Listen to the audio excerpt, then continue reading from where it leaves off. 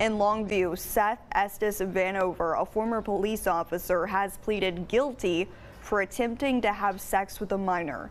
Vanover was working for the Longview Police Department when he was arrested back in October of 2022 as part of a sting operation by the FBI.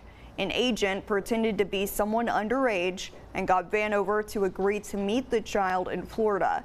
Vanover faces 10 years to life in prison.